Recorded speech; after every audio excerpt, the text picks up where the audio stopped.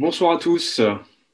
Je suis ravi de vous accueillir pour cette 13e rencontre de notre cycle Curse of Knowledge organisé par l'Institut français de Russie avec le laboratoire des nouveaux médias du théâtre Alexandrinsky et la galerie Dies Natanganke. Et j'en profite pour saluer euh, nos deux modérateurs habituels, Andrei et Anton. Bonjour à vous.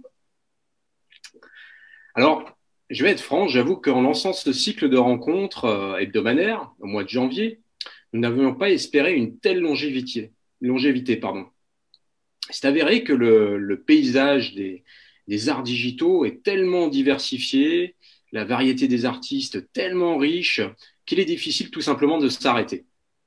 Alors ainsi, nous avons rencontré, comme vous le savez, des compositeurs, des architectes, des danseurs, tous épris d'une véritable utopie digitale. Ces rencontres nous ont permis, nous permettent de découvrir des mondes artistiques des plus originaux, mais également de nourrir une réflexion commune sur la place des technologies dans notre quotidien, sur notre relation visible et au mode de coexistence. Ce soir, nous avons le plaisir d'accueillir Pierre Friquet. Bonsoir Pierre. Alors, notre invité euh, fait des expériences immersives depuis 2010. Alors, Pierre, permettez-moi de vous présenter un petit, un petit, peu en quelques mots. Bien sûr. Pierre euh, a étudié le, cinéma dans une école de cinéma en Inde, où l'on avait l'habitude de prononcer son nom comme Piaré, il me semble. Et Piaré, qui se traduit également par l'être aimé, j'ai appris quelque chose en indien, est devenu finalement assez logiquement son surnom artistique. Pierre Friquet a commencé sa carrière comme réalisateur, mais très vite s'est tourné vers des œuvres plus proches d'une installation d'art contemporain. Il trouve ce cheminement très logique, et je me permets aussi de, de, vous citer, il me semble, le cinéma est juste la préhistoire de la réalité virtuelle. Le rêve de l'humanité, c'est de se raconter des histoires autour d'un feu, des expériences de vie. On veut à la fois être ailleurs et quelqu'un d'autre. Pierre Friquet voit dans, l'art immersif, qui englobe à la fois, comme vous le savez, l'AR et la VR, le point de rencontre entre matière et esprit, réalité et rêve, qui permettrait aux gens de se reconnecter en quelque sorte à leur propre corps, à leur soi profond, grâce à l'art et à la technologie. Technologie qui nous dépasse constamment et nous fait souvent peur, il faut bien l'avouer là aussi. Pierre, par ailleurs, a collaboré avec des artistes de renommée mondiale, euh, tels que Alejandro euh, Jodorowsky et Jean-Michel Jarre, par exemple. Mhm. Et il invite le, public à plonger dans des mondes les plus fantaisistes. Et quand je dis plonger, euh, vous pouvez le prendre au pied de la lettre. car dans son œuvre récente, Pierre, donc l'œuvre qui s'appelle Space Out, en français qui veut dire planer, en quelque sorte, Pierre propose au public de mettre un casque de réalité virtuelle étanche et d'entrer dans les eaux d'une piscine pour les inviter à un voyage sur la Lune. Cher public, je vous souhaite une excellente soirée avec Pierre Friquet et nos deux modérateurs habituels. Bonne soirée à tous. Merci, c'était très gentil. Bonne introduction. Большое.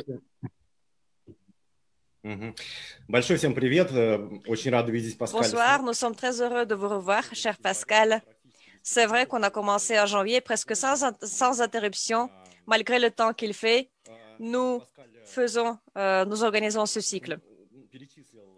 Comme Pascal, euh, Pascal a déjà énuméré nos différentes unités qui participent à l'organisation de cet événement, qui créent ce euh, Curse of Knowledge, cette malédiction de la connaissance. C'est l'Institut français, le laboratoire de nouveaux médias du théâtre Alexandrinsky et la galerie Zdis Notagan, qui est présidée par André Bartenev, le grand artiste.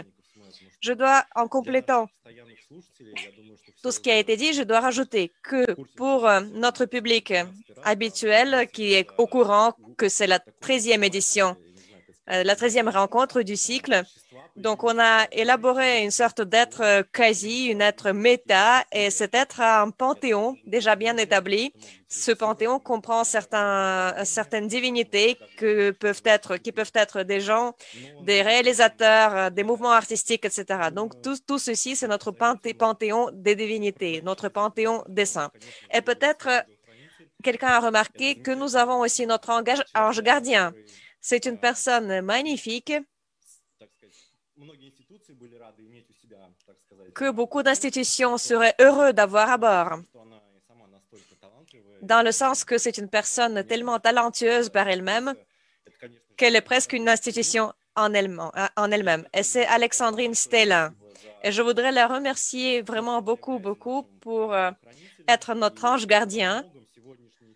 Et donc, euh, dans beaucoup d'aspects, notre édition d'aujourd'hui a été organisée grâce à son soutien et grâce à ses efforts et son travail inlassable. Et en fait, euh, ceci est vrai non seulement pour cette édition courante, mais aussi pour les éditions précédentes et j'espère pour les éditions futures. Euh, comme Pascal a bien, a bien souligné, c'est vrai qu'aujourd'hui, notre thème principal, notre sujet principal est lié aux technologies. Du point de vue de la continuité entre les différents arts et du point de vue de la modification du corps humain qui nous permet même de parler de la magie. Et notre invité, d'ailleurs, est un élève euh, euh, du euh, psychomagicien Alejandro Kodorowski. Et d'ailleurs, je voudrais vraiment questionner Pierre sur Maestro Kodorowski et cet élève du magicien. Donc, est-ce que c'est vraiment, est-ce que c'est le, le, même être ou ce sont des êtres différents? Et puis, on se souvient de la phrase d'Arturo Clarke, comme quoi toute technologie développée n'est pas différente de la magie. Euh, et donc, je crois que cette phrase décrit bien notre conversation d'aujourd'hui, de ce soir. Et de ma part, je voudrais déplacer un tout petit peu les accents de cette phrase. D'habitude, on met l'équivalence entre la technologie et la magie. Mais pour moi, l'accent doit être mis sur la phrase n'est pas différente. Donc, la technologie n'est pas différente de la magie par rapport à notre réaction par rapport à la réalité. Donc, ça veut dire que notre réaction n'est pas une réaction d'évaluation, c'est une réaction sensorielle, la réaction au niveau des perceptions. C'est la première réaction que l'on prend sans la critiquer, sans trop réfléchir. Et c'est ça le paradoxe, je crois. Et je voudrais rappeler à ceux qui nous voient pour la première fois que notre projet s'appelle Curse of Knowledge, la malédiction de la connaissance, et c'est le phénomène, en fait, c'est un grand phénomène cognitif et cognitiviste qui appartient au groupe de phénomènes intitulé Les erreurs fondamentales de l'attribution. Donc, ce sont les billets cognitifs, cognitifs, les déformations cognitives où on pense que c'est euh, réalité, mais c'est pas réalité. Mais ce qu'on pense suit certaines lois, certains algorithmes. On prend tout ce qui correspond à ces algorithmes pour la réalité. Et en fait, ce curse of knowledge est un biais cognitif euh, autour duquel on, marche euh, sans cesse. Puis, euh, en fait, mon, erreur préférée, c'est survivorship bias, l'erreur de celui qui a survécu. Et je crois que peut-être ceci fera le deuxième cycle après Curse of Knowledge. Et dans ce sens, ce que Pierre fait pour moi, et d'ailleurs, ce que maestro, M. Kodorowski fait, ça appartient à cet aspect-là. Ça appartient à ce, à ce groupe de phénomènes. Donc, on se pose la question, comment est-ce que c'est possible qu'en zéro seconde, on réagit à un événement ou à un phénomène qui, euh, qui n'est pas réel du tout, qui appartient euh, au rêve et pas à la réalité. Donc, on prend un mauvais chemin, un, un mauvais chemin, un faux chemin. Et je crois que l'art appartient en fait à cette limite, à cette frontière entre ces deux mondes. Et je suis heureux de voir que aujourd'hui, que ce soir, on va parler de ce sujet et que ce sujet sera au centre de notre conversation? Ceux qui veulent nous, regarder en russe peuvent le faire sur vk.com. Ceux qui veulent nous regarder en français, euh, venez plutôt sur Facebook. Ensuite, vous pourrez toujours le revoir sur nos, chaînes euh, nos chaînes euh, YouTube. Et maintenant, je suis heureux de, passer la parole à André. Son exposition merveilleuse vient d'être fermée, mais d'autres expositions encore plus merveilleuses euh, sont prévues pour l'avenir. Et en fait, ces expositions ont un certain rapport à ce que Pierre nous dirait aujourd'hui. Bonsoir, notre cher public qui nous regarde, qui nous écoute. Bonsoir, Pascal. Bonsoir, Anton. Bonsoir, Pierre. Et euh, je voudrais vous dire que euh, samedi prochain, j'ouvre, j'inaugure deux nouvelles expositions dans la galerie euh, Zdesna. La première sera consacrée au rêve. C'est l'exposition personnelle de Venera Kazarova, artiste de performance, qui dit que l'ensemble de ces personnages sont, sont, nomades, qui donc voyagent entre un rêve et et un autre. Et donc, elle nous présentera ces personnages qu'elle rencontre habituellement quand elle dort dans ses rêves. Et la deuxième exposition sera celle euh, du designer de mode Yaroslav Glazunov, qui sera consacré au design de textiles euh, à l'usine de Verasluskaya, la fabrique de textiles Verasluskaya, qui est le nom familier à tous ceux qui habitent Saint-Pétersbourg. Et donc, il s'agit des années 90, 80-90, euh, la perestroïka. Et donc, on se pose la question comment cette période a influencé le design des euh, tissus, euh, le design de textiles? Alors, pourquoi est-ce que j'ai mentionné ces deux expositions qui seront inaugurées samedi prochain? Parce que l'art, tel que je le vois, c'est une invention unique que l'on peut comparer à une couverture de lit. Imaginez par exemple quelqu'un qui ne se couvre pas quand il, euh, quand il s'endort. À mon avis, c'est cet acte de couvrir qui contribue justement à l'apparition du surréalisme, de, des rêves, de la fantasmagorie, à tous les rêves que l'on voit. Et plus euh, la couette est confortable, plus il nous, plus euh, nous, nous, nous plongeons dans les rêves en rencontrant les personnages qu'on n'avait jamais vus en réalité, ou bien qu'on avait vus mais qui sont modifiés dans les rêves. Et je, je crois que l'art euh, accomplit justement cette fonction. C'est une couette, c'est une couverture très très confortable qui permet à tous les participants du processus de rencontrer une série de notions, une série, une série d'images visuelles qui excitent sa propre fantaisie, qui motive cette fantaisie et qui donne l'impulsion à cette personne d'avancer, de continuer son périple. Alors, chers amis, je vous remercie de faire très attention à cette couverture universelle qui s'appelle l'art, puisque cette couverture vous aidera toujours à vivre euh, il rendra votre vie confortable et pleine d'émotions. Ah, voilà, c'est tout ce que je voulais dire.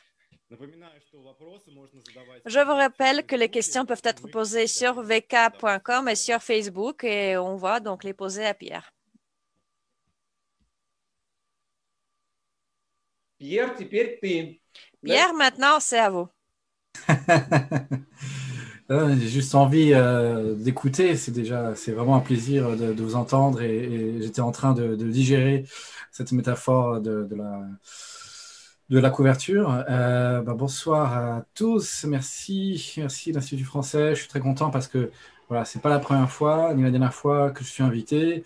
À la fois, en fait, euh, aux États-Unis, l'Institut français m'a aidé pour plusieurs fois en plus venir aux États-Unis pour présenter mes œuvres et à la fois dans d'autres endroits. J'étais invité pour aussi donner des conférences en ligne, euh, notamment en Lettonie, en Roumanie, euh, en Kenya, il me semble, et euh, dans d'autres pays. Donc je suis vraiment ravi. Et, vraiment, je suis aussi, j'ai l'impression d'être à la maison, en. J'ai l'impression d'être parmi ma tribu. Donc, je suis très content que les, deux créateurs sont, ici parmi moi. J'ai juste envie, en fait, je pense être une conversation comme autour d'un thé, très, très, très familier, très intime. Euh, et bon, enfin, il se trouve qu'il y a des gens qui écoutent. Donc, euh, voilà, je, suis vraiment impatient euh, d'échanger. On a déjà aussi des dialogués hors, caméra et on a déjà, enfin, moi j'ai senti déjà une connexion forte. Donc, je suis absolument ravi et, et, impressionné aussi par, enfin, par, le parcours aussi de ces créateurs. Euh, est-ce que comment est-ce que vous avez des questions en fait euh, euh, précises Comment vous voulez que que je commence Ну, насчет вопросов я не помню уже. У меня тоже, на самом деле, в таком потоке. Bon, J'avais des questions précises à vous poser, mais je, je ne m'en souviens plus. Déjà, on a eu une conversation tellement, bien, tellement, tellement chaleureuse que, bon, oui, euh, déjà, vous pouvez poser vos questions sur les réseaux sociaux, sur vk.com, sur Facebook. Sinon, Sinon, peut-être on commence par regarder la première vidéo. Et comme on a déjà annoncé votre création merveilleuse euh, liée au euh, VR, hmm. à cet art immersif, à, cette, euh, à ce VR immersif dans une piscine, peut-être on commencera par, par, la regarder, ensuite on va en parler. Très bonne idée. So trust me and focus all your attention on my voice. Do you want to be hypnotized? Say yes. Yes. So I'm going to put a mask on you.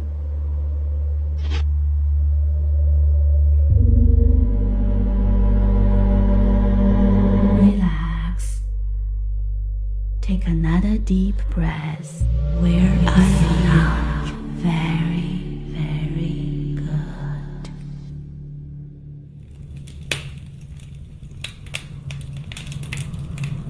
I just want to make sure she's okay.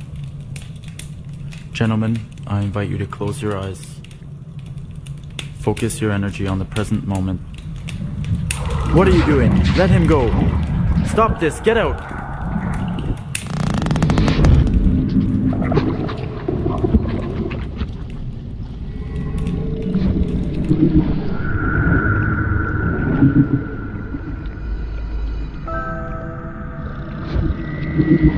Something is pushing me out. It's my dead sibling.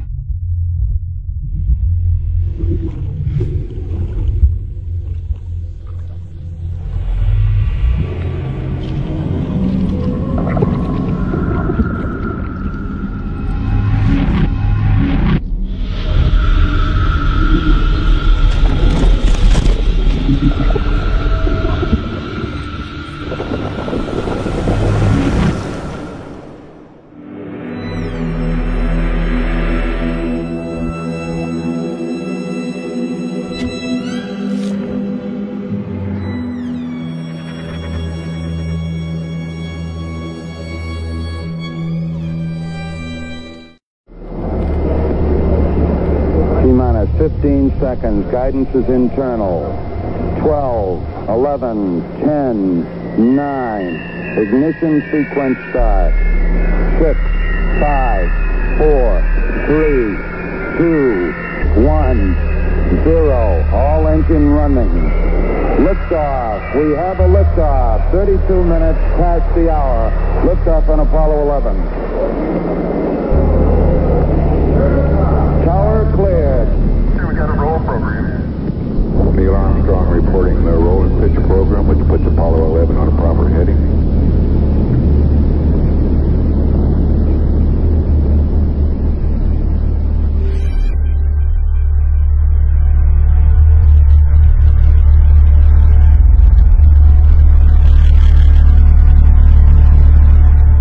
Altitude, velocity, light. Eight and down. 220 feet. 15 forward. 11 forward, nicely, 200 feet. Four and a half down. Five and a half down.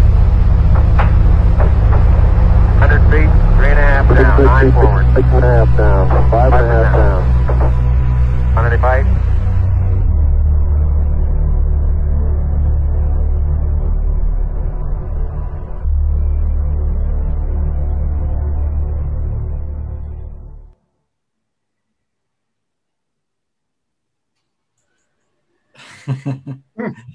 Bienvenue euh, sur Terre. Donc, euh, j'aime beaucoup ce moment, en fait, surtout dans une conférence, quand je présente mon travail, c'est de ne pas avoir vraiment de contexte, en fait. Donc, on montre des vidéos de ce que j'ai fait, par exemple, et, on a, et, avant, en fait, j'ai pas donné, on n'a pas donné l'explication de ce qu'on voit. Et, j'adore ce euh, pour le spectateur qui regarde ces images, ceux qui participent à la conférence maintenant, ils sont en train de, mettre un peu les pièces du puzzle ensemble et essayer de comprendre mais qu'est-ce que j'ai vu? Qu'est-ce que c'est ça? Donc en fait, on a vu deux vidéos, c'est deux travails différents, mais en fait, on va plutôt parler de la deuxième.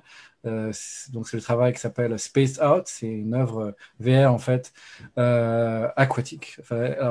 C'est-à-dire en fait qu'il faut aller dans l'eau, dans une piscine, dans, un lac aussi, euh, dans la mer d'ailleurs, pour en fait essayer cette œuvre. C'est une installation et en fait on flotte à la surface de l'eau on respire avec un tuba et on a un casque de réalité virtuelle devant les yeux et on a du son aussi qui, sort qui vient du casque. Et en fait, on, ce qu'on voit à l'intérieur, c'est un voyage de la Terre à la Lune. Alors c'est un, j'aime pas le mot hommage, mais c'est voilà dire une, inspiration très très libre de, du film euh, euh, Le Voyage de la Lune de, Georges Méliès, qui est un peu le premier film de science-fiction, même un, des premiers en fait euh, films narratifs, premier film en fait tout court, avec un découpage et une histoire. et de donc et, et qui qui sert un peu en fait de, de choses un peu familières ce qu'on entend en fait dans le son aussi, il y a en parallèle euh, un, archive, en fait, un document réel, en fait, qui est euh, les voix de la mission Apollo 11. Donc on entend les voix des trois astronautes euh, américains qui arrivent sur la Lune. Et du coup, en fait, ce que je viens d'expliquer, c'est trois choses, en fait. D'abord, l'expérience du corps, l'expérience de l'utilisateur, c'est-à-dire d'être dans l'eau, de flotter dans l'eau. Ensuite, l'expérience de voir, en fait. Donc, c'est un monde plutôt abstrait, c'est un environnement visuel assez poétique. Et une troisième chose, c'est le son. Et donc, ces, ces, trois trajectoires, ces trois chemins, ces trois euh, tracks, comme on dit en anglais, des trois euh, euh, bandes, en fait, créent une expérience, en fait. C'est la rencontre de ces trois choses qui sont différentes, qui, qui proposent pour moi, en fait, enfin, une, une, expérience transcendantale, une expérience qui, qui tout d'un coup, créer une sorte de, court-circuit, en fait, créer une sorte de, euh, de, d'explosion dans l'esprit. En anglais, on dirait euh, mindfuck. Alors, ce serait en fait, ça peut se traduire comme le terme bah de, tout d'un coup une sorte de c'est sorte de overloading, une sorte de, surinformation et, qui, en fait, pour moi, enfin j'espère en fait, invite le spectateur à, lâcher prise, en fait, à oublier un peu son mental, sa chaîne de, pensée, sa, euh, son incessante euh, énergie à, penser, à réfléchir, à juger sur tout, et du coup à, redécouvrir le corps, en fait. Donc ce que je fais, c'est vraiment viscéral, c'est charnel, c'est une, expérience c'est un surréalisme, on en parlera après, mais c'est un surréalisme vraiment de la, chair en fait. Et c'est euh, ça, ça, ça, appelle, ça, ça, parle directement en fait au cerveau reptilien, parce que du coup avec tout, ça, ces trois choses ensemble, le son, le corps et les yeux, en fait. Euh, euh, euh, en fait, simule une sensation de gravité, donc enfin, plutôt d'absence de gravité. Donc en fait, on a l'impression de avec ce casque. Pourquoi le casque? Pourquoi la VR dans l'eau? Parce que en fait, on a le sentiment d'être dans l'espace, d'être sur la lune. Euh, et en fait, on a vraiment, avec les mouvements de caméra aussi, la sensation de, bouger sans bouger. Donc il y a quelque chose de scientifique, et je reviendrai après, qui s'appelle la, la, la, si je me souviens bien, la vecteur. Expliquerai ça après. Et, pour moi, vraiment, en fait, euh, donc, du coup, ce voyage de la Terre à la Lune, et euh, qui, qui, traverse par le documentaire avec le son, parce que c'est les vraies voix des astronautes, traverse ensuite des paysages abstraits euh, visuels. Ça crée en fait aussi une expérience qui est hors de l'eau en fait. C'est-à-dire que moi mon travail en fait la mission c'est que c'est une, une, une, poésie de la gravité, une poésie de la pesanteur parce que en fait le, oui on, fait l'œuvre dans l'eau, on fait on voit pendant 10 minutes voilà, une, un fichier vidéo qui est devant nos yeux. Mais la vraie expérience, la vraie sensation, elle commence aussi quand on sort de l'eau. Euh, on enlève le casque, on sort de l'eau et on s'assoit. Et là, là on, on, reprend un peu connexion entre corps. Et en fait, pour moi, cette, tout, tout ça avant, donc l'expérience de l'attente, l'excitation, et ensuite aller dans l'eau, faire la VR dans l'eau, aller dans la lune, et ensuite, ressort, et ensuite on ressort. C'est ça le, vrai en fait travail et on a et tout ce qui est avant euh, euh, la fin, c'est en fait euh, une préparation, préparation. Et, et, quand on ressort de l'eau, on lève le casque, on s'assoit et tout d'un coup, le corps ressent un peu la gravité et on redescend sur Terre. Et, et j'aime beaucoup ça en fait. C'est la même sensation quand on sort de nos rêves, euh, on, se réveille de cette euh, entre-deux, ce threshold en anglais, ou cette sensation d'être euh, entre deux mondes, et, le cerveau commence à, réactiver, à reprendre un peu le la contrôle et le pouvoir sur nous-mêmes. c'est la même sensation quand on enlève le casque VR, on a un, sentiment de flottement. Et, c'est ça qui m'intéresse en fait, parce que tout d'un coup, on se rend compte que en fait, vous parliez avant de curse of knowledge, de, malédiction de la connaissance et des biais connectifs. En fait, on se rend compte qu'on s'identifie à notre cerveau, on s'identifie en fait à notre, mental. Et, et, pour moi, dans mon expérience euh, de l'art, de la méditation, l'expérience de vie, me rend compte que le cerveau, c'est pas le, centre de moi-même, c'est pas le centre de, qui je suis, de mon identité. Le cerveau, en fait, c'est comme un autre sens. Euh, c'est comme un sens comme la vue, l'odorat. En fait, euh, c'est juste un instrument pour percevoir la réalité. et dans la même logique, en fait, on voit la réalité des choses. on la voit pas en fait réellement. On la voit en fait. On est, on vit euh, la représentation mentale de la réalité. Euh, je sais pas, j'espère que c'est clair. En fait, on vit pas à travers, on vit pas la vie pleinement. En fait, on peut pas accéder à l'énergie de la vie. Voilà. On peut pas accéder au spectre euh, complet. En fait, de la même manière que nos, yeux euh, ne peuvent pas accéder à tout le spectre lumineux ou, ou color, en fait, la couleur, pardon, de, de, de, la lumière. En fait, on peut pas voir les infrarouges, on peut pas voir le ultraviolet. De même manière que aussi nos, le, euh, lui, euh, on peut pas entendre toutes les fréquences. On s'en parlait sur l'ultrason, par exemple. Et de cette euh, même logique, en fait, pour moi, en fait, c'est une sorte d'explication poétique scientifique. C'est pas la vérité que je dis, c'est vraiment une, une, vision du monde que j'ai. C'est pour moi, en fait, que le cerveau, hop, il peut pas percevoir, il peut pas il peut pas capturer en fait entièrement la vie. Parce que, et donc du coup, on a besoin de, bizarrement, on a besoin de ce paradoxe, on a besoin de cette euh, contradiction, on a besoin en fait de, de, la fiction, on a besoin de l'art, de la poésie en fait pour euh, rattraper en fait la vie. C'est-à-dire qu'on a, on a, on a besoin de la simulation, de la simulation, donc la simulation mentale et de la simulation mentale et créer une simulation de l'art, on va dire, de, l'expérience artistique, l'expérience de la VR, en fait, pour en fait euh, comprendre en fait l'artifice de tout ça et de comprendre en fait euh, toute cette euh, virtualité, toute cette, toute cette abstraction en fait. Et, et donc voilà. C'est pour ça que du coup, moi, je crée des choses qui en fait, en anglais, c'est hacking, en fait, qui mm. hack le cerveau, qui, qui provoque en fait des courts-circuits, comme je l'ai dit avant, qui, qui réalise, fait découvrir en fait la que en fait euh, nous avons des, biais connectifs et vraiment, c'est parfait, c'est parfaitement ça. Et Space Out, ça, ça raconte vraiment ce, plaisir-là aussi, quoi. Ce plaisir-là de, de, découvrir quelque chose pour la première fois. À la fois d'explorer, de découvrir la réalité virtuelle pour certains, de découvrir la réalité virtuelle dans l'eau pour tout le monde, je pense. C'est la première œuvre, véritablement œuvre artistique dans, l'eau VR au monde. Euh, découvre aussi euh, l'expérience euh, de, ces astronautes de la mission Apollo 11 qui marchent sur la Lune pour la première fois. Donc on entend émotionnellement leur, leur voix, qui découvrent, qui font les premiers pas sur la Lune. Donc en fait, et donc c'est important ce plaisir de la découverte qui du coup dépasse en fait euh, l'habitude que le cerveau a toujours de créer en fait euh, des patterns, de, créer des schémas en fait pour enfermer un peu la réalité, pour essayer de la comprendre, pour peut-être peut-être la contrôler. Et donc euh, j'essaie vraiment de créer des choses où on perd le contrôle, on, découvre quelque chose de tellement nouveau qui sort en fait de la zone de confort, littéralement, donc notamment mettre des gens dans l'eau. C'est même une proposition pour beaucoup un peu genre qu'est-ce que c'est que ce truc euh, euh, ah, Vous voulez que j'arrête là ou continue vous Je peux continuer des heures et des heures. Mais est-ce que vous avez des... Oui, nous allons poser des questions si possible. Permettez-moi, en fait, j'ai déjà une question euh, que j'ai, parce que Pierre vient de parler, en fait, de cette... Euh, j'ai trouvé une contradiction et donc je dois vraiment poser cette question. Parce que ce n'est pas encore très harmonique pour moi, cohérent. Donc, on, s'est approché de ce sujet, en fait, avant, mais peut-être euh, on s'est approché encore plus aujourd'hui, peut-être partiellement à cause de Pierre, mais partiellement à cause de Jodorowsky, parce qu'en fait, c'est une contradiction au carré. Euh, en fait, euh, ce qui m'étonne, ce que les gens perçoivent parfois ça comme, comme quelque chose d'artificiel, un concept artificiel. Parce que pour moi,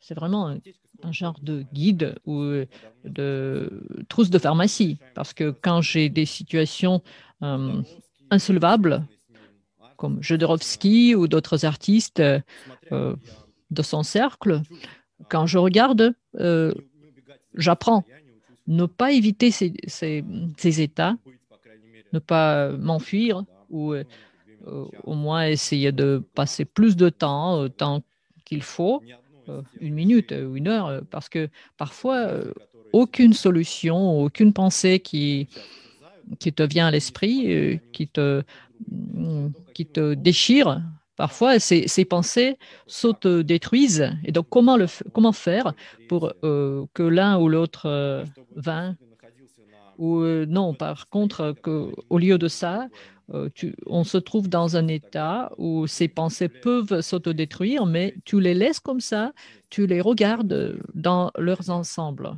dans leur ensemble.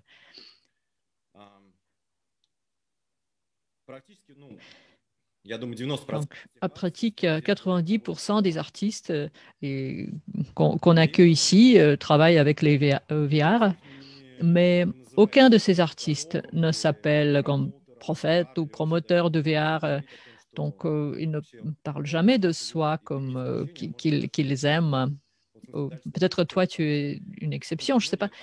Mais la plupart des artistes, parfois, ils disent qu'ils n'aiment pas trop le VR, ils ne veulent pas vraiment reconnaître leur valeur, peut-être même parfois ils haïssent le VR. Mais dans ce contexte de cette contradiction, je vois cette contradiction dans toi parce que tu n'es pas non plus le prophète ou le promoteur de VR, mais en, même temps, tu, es bien plongé dans le VR. Donc, quelqu'un doit nous, doit nous vraiment donner cette euh, gamme de, de sentiments ou comment donc l'artiste il se sent dans ces technologies? Est-ce que cette technologie elle va vivre ou peut-être dans cinq ans elle disparaîtra. Donc, apparemment, ce n'est pas la, chose la plus commode pour toi. Donc, c'est pour ça peut-être que tu ne fais pas des projets uniquement dans VR. Tu, toi, tu pars pour la piscine avec VR, mais dans la piscine. Et dans cette piscine, tu, montres euh, Méliès, donc un, autre système d'image totalement différent. Donc ça, c'est, euh, j'espère que j'étais assez, assez contradictoire, moi, en posant cette question.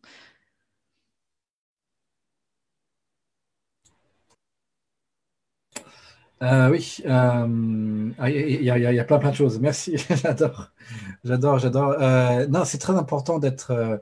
alors, je suis sûrement contradictoire en fait parce que ce que je fais c'est très viscéral, très intuitif, très de l'instinct. C'est vraiment, ça vient de ma chair. Donc des fois, mon cerveau a du mal à, trouver moi-même la cohérence et donc j'ai besoin des fois d'autres personnes pour trouver la cohérence. Mais c'est important en fait de, de voir que mais aussi c'est important de mettre la contradiction en fait, de mettre, en fait c'est plutôt l'hétérogénéité en fait, c'est-à-dire le mash-up, c'est-à-dire de, poser plusieurs choses ensemble et en fait et de briser une sorte de cohérence et, de, pour en fait pour éviter la dualité en fait. Pour, éviter que ça c'est ça ce que je dis ça c'est vrai ce que je dis et donc mais euh, euh, mais euh, j'essaie de prendre des cohérents. C'est à dire en fait que hum, c'est important en fait euh, de faire l'expérience, euh, d'approcher avec le corps en fait. Et tout, la réponse dans ce que je fais passe par la sensation du corps, par l'expérience du corps en fait.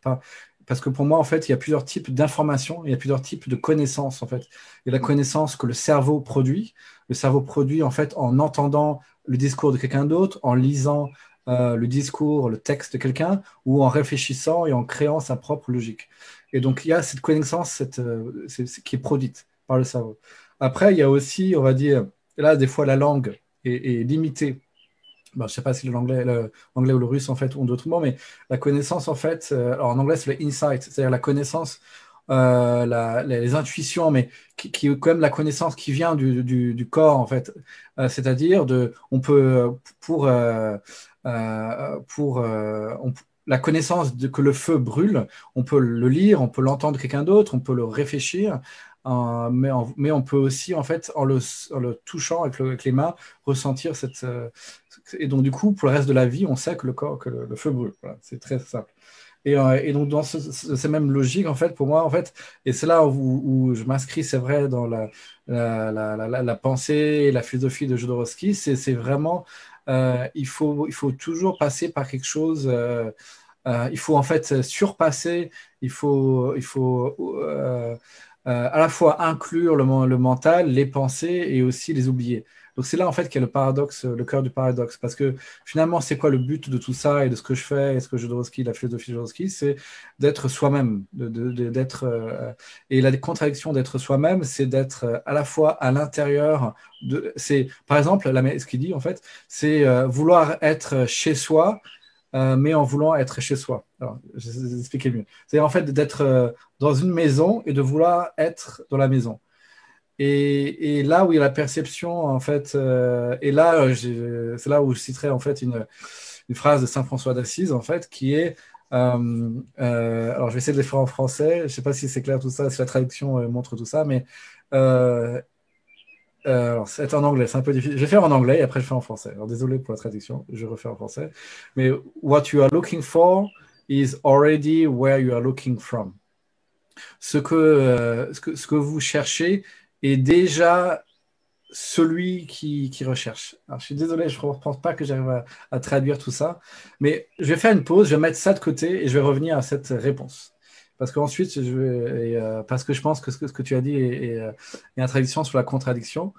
Euh, et après, je j'ai besoin, et après, je vais revenir aussi sur ce que je, je, je pense que je suis parti un peu trop loin, je vais revenir un peu en arrière pour ensuite parler aussi de la réponse à la seconde question sur la VR. Euh, non, je suis totalement passionné de la VR et je crois aussi que la VR est, euh, est en fait, la vraie VR, c'est dans l'eau. Et que tout ce qui n'est, la VR qui n'est pas dans l'eau, c'est la fausse VR, c'est la VR qui est euh, la VR sèche. De la même manière, en fait, que dans le cinéma, il y a eu le cinéma muet, il y a eu le cinéma en parlant, donc en qui, était toujours en noir et blanc, et après le cinéma en couleur, a ensuite le cinémascope, le cinéma 3D, et ainsi de suite en fait, de l'aveu même des créateurs du cinéma, les frères Lumière, et, eux, ils trouvaient que le cinéma a, toujours été euh, incomplet. Le cinéma, en fait, a toujours été, euh, euh, né de la limitation technologique et de l'ignorance scientifique, en fait, des, créateurs. Donc, les frères Lumière ont, en fait, tout de suite créé une caméra et un projecteur 360. Donc leur rêve, c'était vraiment de représenter la réalité total en fait. Donc il y a ce terme qui s'appelle le cinéma total, que l'écrivain de science-fiction René Barjavel euh, a, écrit dans les années 30, ensuite repris par André Bazin, grand théoricien du cinéma, dans son livre connu qui s'appelle Qu'est-ce que le cinéma? Et en fait qui parle en fait d'un jour que l'appareil technologique on pourra en fait euh, connecter euh, tous les sens de nos corps et cet appareil cette machine en fait nous permettrait de, suivre. Donc, on, ça commencerait au cinéma. Les personnages se, sortiront de l'écran et on pourra suivre ces personnages dans leur appartement et interagir avec eux. Et donc, ça, c'était le vrai rêve de, pour René Barjavel et aussi de André Bazin du cinéma. Donc, en fait, pour moi, c'est ça que le cinéma, c'est juste une étape de la VR. La VR, c'est une étape de quelque chose encore plus, plus grand, plus puissant. Euh, voilà. Après, donc ça, c'est d'un côté. D'un côté très technologique, très business, très corporate, très comme tout ce que tu veux, euh, enfin, tout ça, la Silicon Valley, en fait, la VR, c'est aussi un, c'est pas seulement un contenu, donc une expérience, là, des, des, des, trucs, des, des, titres, comment dire, des, œuvres, mais c'est aussi un contenant, c'est-à-dire un écran, en fait, une sorte de nouvel écran, comme après la télévision, comme après le jeu vidéo, comme après l'iPad et tout ça. Et donc, du coup, en fait, ce serait la, la VR, la, en fait, ce serait le mauvais mot. En fait, ce serait plutôt le, en anglais, le spatial computing, l'ordinateur spatial, spatialisé. C'est-à-dire, en fait, la, troisième révolution de, l'informatique qui serait après l'ordinateur de les bureaux, donc desktop, donc euh, voilà, un clavier, une souris, après l'ordinateur donc tactile dans la poche, iPad, iPhone, tout ça, on aurait en fait l'ordinateur qu'on porterait sur, sur, soi, sur le corps en fait, à travers des lunettes, à travers des rétines, à travers des implants cérébraux aussi. Et en fait, on pourrait accéder à cette truc, à ce abstraction, à, cette, à ce réseau, euh, à ce cyberespace, à ce métaverse, à cet univers, à cet euh, espace informatique, à cet euh, monde digital. voilà. Donc en fait, qui est le, entre, qui, qui, qui, existe, hein, qui est Internet, comme je vous ai raconté, qui est quelque chose. En fait, c'est ce que euh, je rêve déjà pendant la deuxième moitié euh, du confinement. En fait, oui, je me suis rendu compte, André, que vous avez de, de belles idées à ce sujet. Oui, oui, j'ai plusieurs commentaires déjà à ce sujet. Je vous rappelle que nos rencontres, elles sont intéressantes parce que nous échangeons euh, des idées et donc nos rencontres, euh, ils ne sont pas des présentations traditionnelles euh, pour, une audience très large, mais on a une discussion sur l'avenir de cette conscience universelle. Et au cours de nos rencontres, au cours de nos discours, de nos discussions, hmm, il y a toujours des résultats inattendus que hmm, j'apprécie beaucoup parce que chaque héros de nos rencontres, il a euh, un bagage émotionnel qui est propre à lui et donc il commence à dire moi je suis allé là-bas et voilà j'ai rencontré ça et ça et, et je vois. Mais comment et quand moi je suis allé là-bas c'était totalement différent pour moi. Donc, c'est comme si c'était l'enregistrement de, de ton histoire, mais provenant d'un monde parallèle. Donc, moi, je prends très personnellement toutes les idées qui sont mm, exposées ici. Et je pense que si je venais, je vivais dans un monde, disons, correct, j'aurais peut-être la, la, même logique et la même carte des événements, le même planning des événements. Donc, j'aurais le même algorithme d'action et le même fonctionnement. Donc, ce que j'ai euh, surtout aimé, c'est avant tout le sujet euh, de surchargement. Nous sommes surchargés d'informations. Et c'est justement le principe que j'aime beaucoup utiliser dans ma galerie parce que d'habitude, ce que je fais dans ma galerie, c'est j'expose les tableaux entre le sol et le plafond. Donc, il n'y a, il a pas un seul centimètre vide. Donc, je remplis l'espace euh, entier, l'espace intégral. Je fais, je mets également euh, au milieu des conteneurs avec d'autres objets, par exemple des objets tricotés, des cartes postales, etc. Au milieu de, de ce conteneur, conteneur, je mets aussi des costumes et c'est après que j'invite les spectateurs. Si on regarde Guggenheim, qui, euh, lui, a organisé plusieurs expositions surréalistes à New York après avoir euh, quitté la France avec Max Ernst. Donc, regardez le magazine Times, qui contenait à cette époque-là beaucoup de publications sur euh, sa création, sur, sur ses expositions. Si on regarde ces expositions, elles sont également surchargées. Et ce, ce surcharge cette ce fardeau d'impression euh, avait tendance à casser quelque chose chez le spectateur. Et la conscience cassée du spectateur commençait à, euh, défaillir, à défaillir. Et mm, au moment de cette défaillance, cela créait des métaphores inattendues. Cela faisait naître des euh, nouveaux sens et des multitudes de sens. Et donc, moi et Anton, on attend toujours mercredi pour que le nouveau personnage central de notre rencontre commence à nous briser le cerveau, commence à nous casser le cerveau, puisque c'est le cerveau cassé qui commence à avoir des réponses. Les réponses bouillonnantes à l'intérieur de ce cerveau. On dit que euh, la conscience qui cherche euh, doit rencontrer de temps en temps les interlocuteurs plus intelligents. Et ceci est complètement vrai. Même si je ne suis pas un, docteur de sciences euh, en microbiologie, en vaccination, en macrocosmos, en lien de neurones, mais si je commence à parler aux personnes qui sont compétentes, compétentes qui sont les professionnels dans, dans un ou plusieurs domaines, à ce moment, mon monde émotionnel, mon univers émotionnel commence à réagir à cette information. Et c'est cette réaction que je chéris beaucoup, puisque c'est dans cette réaction que vous trouvez les horizons, euh, les horizons sans fin de mon imagination, les horizons infinis de ma fantaisie. C'est pour ça que je fais toujours ces projets euh, de euh, patronage surchargé dans ma galerie. Je veux casser le cerveau du spectateur. Et j'ai beaucoup aimé ce principe chez vous parce que c'est mon principe préféré. C'est le premier point qui est important pour moi.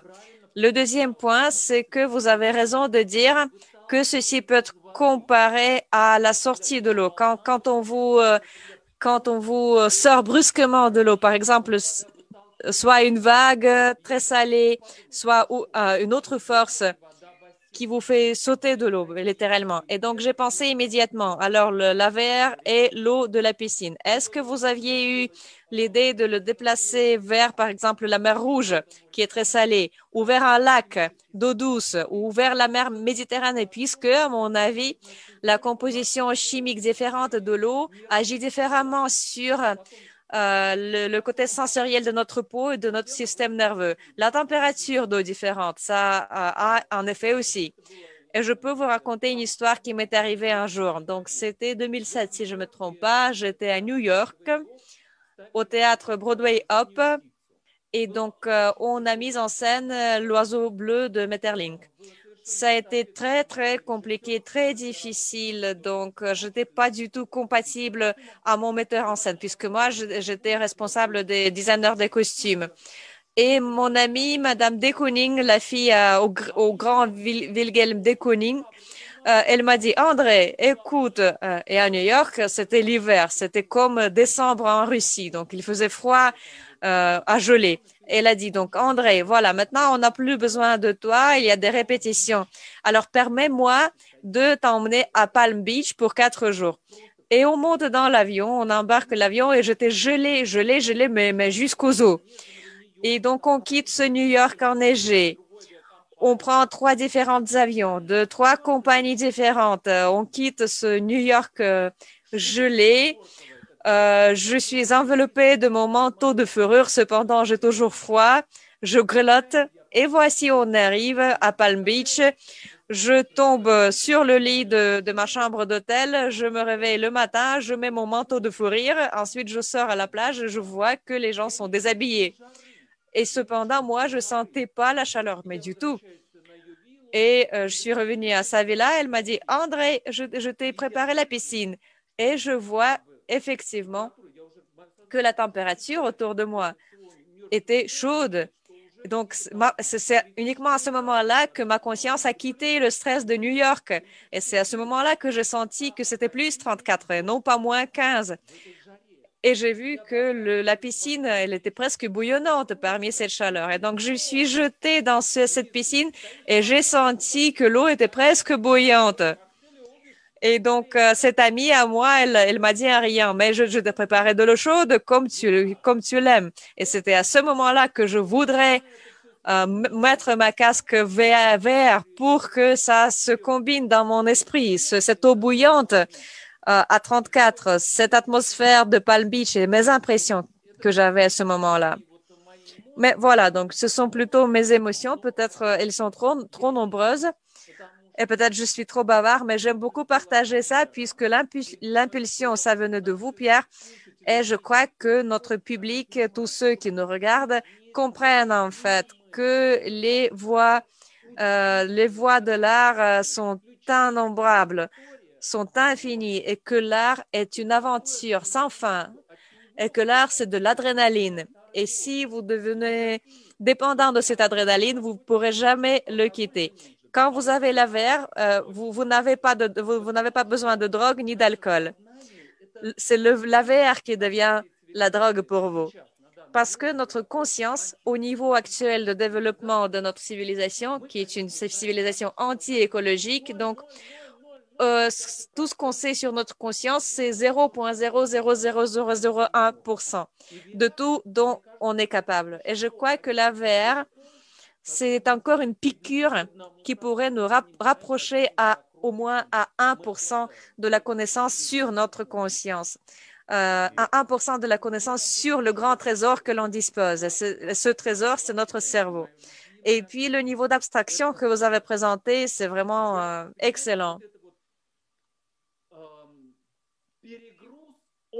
Et cette notion de surcharge, à mon avis, euh, à la fin, ça entraîne un reboot, un, redémarrage.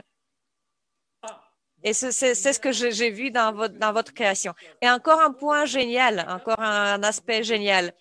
Alors, quand on est dans la piscine, euh, portant euh, cette casque, ce casque de verre, ensuite, on peut y jeter des poissons affamés qui se rapprochent de chacun euh, des spectateurs et commence à les mordre légèrement. Je crois que cette procédure pourrait évoqué euh, les expériences tout à fait fantastiques et assez joyeuses. Même maintenant, on vient de parler pendant une heure et on a déjà généré une multitude de nouvelles impulsions. Regardez, on a généré une multitude de voix que peuvent prendre ces expériences psychiatriques ou physiques sur la conscience humaine. Et tout ceci est très intéressant et très curieux. Et ceci n'est pas la fin. Ce n'est même pas un début. C'est juste des pressentiments. Et j'ai pensé que si, par exemple, Buñuel, Salvador Dali euh, et d'autres surréalistes avaient ces casques de verre en 1920, ils auraient, euh, ils auraient été euh, complètement en rêve, ils auraient été complètement étonnés et ravis. Rappelez-vous du chien d'Andalousie. Même dans ce film-là, malgré les outils en noir et blanc, grâce au collage des frames, le collage des images, euh, le réalisateur a, créé, a, réussi à créer les métaphores, à, rompre les cœurs des gens quand ils regardaient ces films. Et puis, euh, rappelez-vous des symphonies métalliques, des symphonies euh, en noir et blanc, des symphonies en vert que les surréalistes avaient créées. Bien sûr, tout ceci était dirigé, euh, était, avait en vue non pas seulement d'étonner et surprendre le spectateur, mais de changer une fois pour toutes la conscience des personnes qui le voyaient. Oui, exactement. Et je me rappelle même de la citation d'André Breton. On a l'intention, disait-il, de transformer totalement la raison ou tout ce, que, tout ce qui nous rappelle la raison. Oui, c'est une situation, euh, disons, c'est une situation modèle, mais on ne doit pas oublier la fonction non plus, parce qu'on peut, euh, on peut partir tellement loin qu'après, on oubliera d'en revenir. Mais, excusez-moi, la mission principale de l'artiste, c'est d'assurer l'équilibre de l'humanisme sur notre petite pauvre planète torturée. C'est pour cela que nous, les artistes de cette civilisation, qui vivons euh, dans le moment présent, on ne peut pas partir trop loin on doit quand même rester connecté à la réalité.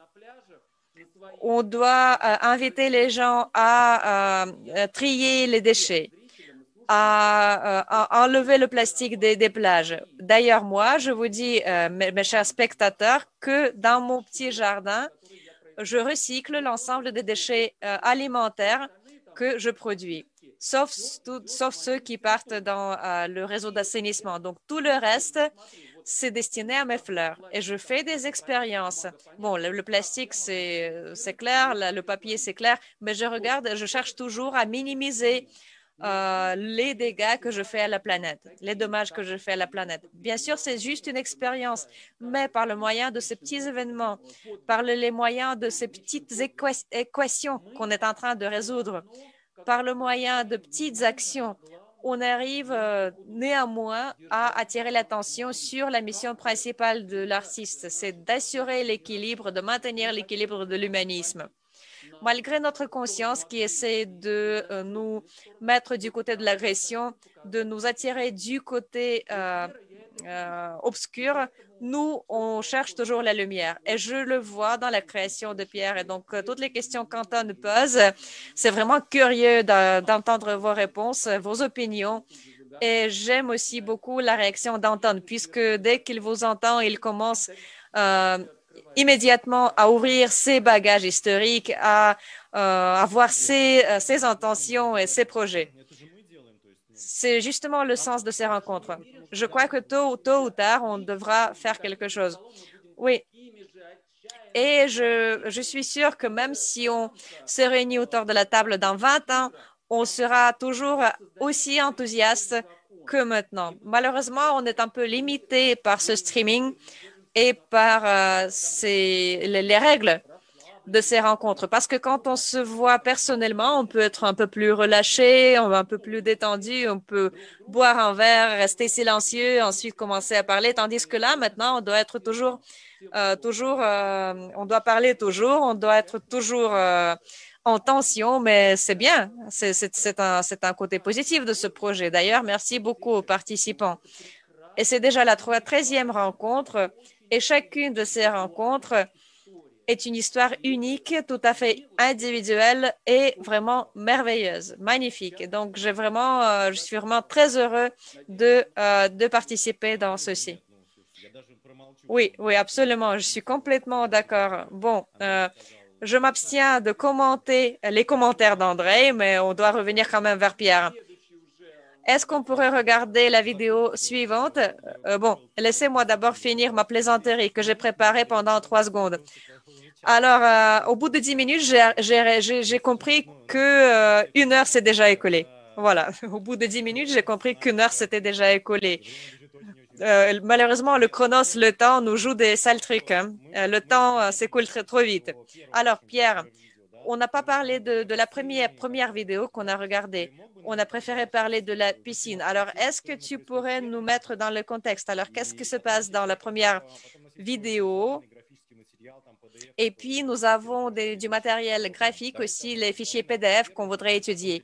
Alors, euh, est-ce que tu peux commenter d'abord la première vidéo, ensuite montrer le graphique? OK. Euh, wow, wow, wow, incroyable. Je suis à la maison, je répète, je suis parmi les, ma tribu. Euh, très, très, très, très, très, très enchanté. Euh, donc, je vais réagir après, mais euh, je vais répondre à ta question. Donc, euh, euh, patterns, en fait, bah, c'était vraiment un, bon, on parle de Jodorowsky de nouveau, mais c'était vrai un peu, c'était suivre ces recommandations, en fait, en tant qu'artiste, de, de trouver, en fait, un but dans ce qu'on crée. Donc, j'ai créé Patterns, donc à la fois pour explorer ma, la malédiction familiale et, et aussi euh, en fait une œuvre populaire, quelque, quelque chose qui est connu. Donc euh, j'ai choisi d'adapter H.P. Lovecraft, euh, écrivain connu pour, pour, pour, créer toute une mythologie sur l'horreur et sur en fait l'horreur cosmique. Et, et, dans ses livres, en fait, il parle justement de cette expérience en fait qu'on partage, que André a parlé, que j'ai parlé aussi, qui est de de, d'un coup d'arriver à un point en fait d'arriver en face d'une horreur d'une réalité tellement horrifique d'un sentiment de peur et de panique tellement fort que il y a une sorte de, transcendance comme je euh, une sorte de, de d'être euh, désolé les mots en anglais viennent mais freeze d'être bloqué d'être paralysé par quelque chose et d'être voilà, au-delà de l'entendement, au-delà en fait de la compréhension de ce qui se passe. Donc, Pattern, c'est l'histoire de l'hypnose, c'est euh, une œuvre VR, mais sur plein, plein, plein, plein de versions. J'ai fait trois, quatre remakes de la même œuvre. C'est une œuvre de dôme, comme les planétoriums. C'était diffusé à Montréal il y a cinq ans. C'était ensuite une œuvre VR interactive, qui a reçu un prix au Festival du Nouveau Cinéma. Après, c'est une œuvre 360 et après, c'est devenu une œuvre euh, multijoueur en fait récemment sous la commande d'un festival qui est disponible dans une plateforme qui s'appelle VRChat et euh, qui est plutôt une sorte de parcours un peu multijoueur mais qui traite de la même chose qui est ce personnage qui se sent euh, double qui se sent qui n'est pas en fait en pleine possession de son corps, qui sent en fait qu'il y a quelque chose, quelqu'un qui, qui habite lui-même. Et donc, il va vers une séance d'hypnose, et donc c'est le début. Et au début, on a, on a vu un petit peu dans l'extrait, enfin, on a vu dans l'extrait qu'il y a une hypnothérapeute qui euh, demande en fait au personnage de rentrer en lui, dans son inconscient, euh, pour ensuite explorer son inconscient. Et en fait, euh, il y a une sorte de parallèle aussi avec l'expérience de la VR, qui est quand on met un casque VR, on a aussi une expérience méta, c'est-à-dire une expérience aussi de rentrer dans, dans, dans notre tête, dans notre hypnose. Donc en fait, ce que dit la personnage de l'hypnothérapeute au personnage dit, et dit aussi en fait au spectateur. Donc c'est important d'avoir ce, double jeu, cette parallèle. Et donc on est à l'intérieur de ce personnage et il découvre en fait que sa mère a eu euh, une relation avec un prêtre, une, une, relation amoureuse avec un prêtre, a, couché, a eu une aventure avec ce prêtre et est tombée enceinte. Et en fait, cet enfant, du coup, elle a avorté. Et, euh, et, du coup, cette, euh, mais par contre, cette, euh, enfin, la mère du personnage a eu en fait, ça je, je, je, je, dévoile la fin en plus, mais, en fait c'est pour dire qu'on a un cheminement personnel, une quête intérieure en fait pour découvrir une vérité. Et Et donc, en fait, euh, ce, ce, personnage, ce, ce, enfant qui est pas né, en fait, euh, du coup, possède euh, la, la personne principale. Et en fait, tout ça, c'est vrai, c'est ce, qui s'est passé. En fait, dans ma famille. Donc, je ne veux pas tout raconter, mais en fait, enfin, si je suis dans le film, vous pouvez voir le film, l'œuvre. Mais en fait, tout ça, c'est vrai, c'est réalisé. Tous ces faits-là sont arrivés dans notre famille. Dans chaque famille, en fait, on, on, est en fait à chaque génération. C'est la psychomagie, la psychogénéalogie de Jodorowsky. En fait, on est avec des trésors et des malédictions. Et notre responsabilité en tant qu'individu, avant même d'être artiste, en fait, c'est de finalement de se débarrasser euh, de toutes ces malédictions de la famille, en fait, euh, qui viennent pas directement de notre euh, parent, qui viennent directement aussi de notre grand-parent, grands-parents, et qu'on peut aussi transmettre malheureusement en fait à ses enfants. Du coup, ce travail parlait de ça en fait, c'est-à-dire que euh, que en fait le, le, une quête intérieure c'est aussi euh, de, de, de, de, guérir aussi euh, les autres en fait donc être se retrouver soi-même c'est aussi guérir les autres ça c'est important et donc ça parle de ça pattern ça parle de, de, de, de découvrir de, rencontrer le monstre le monstre qui est en soi et pour ensuite l'affronter et, et, du coup être libéré donc c'est ça en fait euh, pattern euh, mais c'est toujours le seul truc Pierre, вопрос, вопрос, извини. Ah. Donc une question. Donc apparemment, nous oublions parfois, euh, on parle de choses très importantes, mais quel genre de... Et, et cette œuvre, euh, à quel genre appartient cette œuvre? Parce que tu en parles, mais est-ce que c'est une performance ou une installation? C'est quoi?